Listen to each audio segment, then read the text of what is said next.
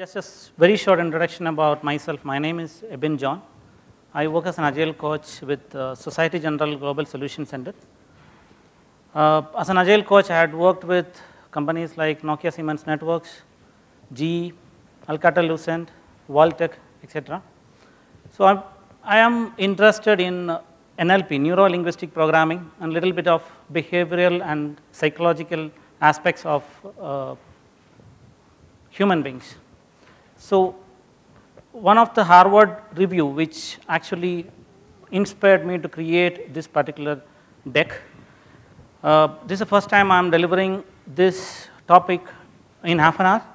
So I have, uh, to maximize your value add, I've removed a couple of things, some exercises, etc.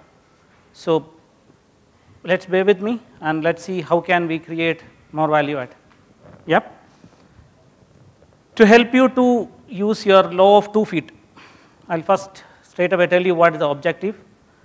The, one of the objective is to establish the, or throw some light into this relation between size and productivity.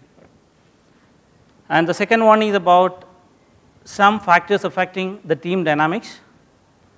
And with that context, how these things are getting affected in some of the ceremonies what we do as part of our Scrum or Agile principles.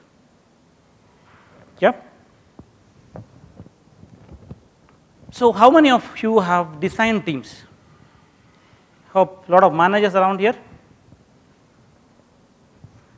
So normally when we think about designing a team, what are things we normally think about? We want to have everything optimum. Optimum productivity, optimum motivation, transparency, collaboration, a lot of things, right? We work, we do a lot of homework when before we create a team. It's not that every Tom, Dick and Harry can come, come into a group and then we call it a team, right? But today we are focusing more on size, how the size impact on productivity. So if you look around in the different places in our the day-to-day lives, we see in sports, different games have different team sizes. You have baseball nine people, basketball five, cricket 11. Many times you would have taken this for granted. We are not questioning why there is different team sizes. So, but it's almost certain that the team size have significant impact on performance. So there are a lot of people did a lot of studies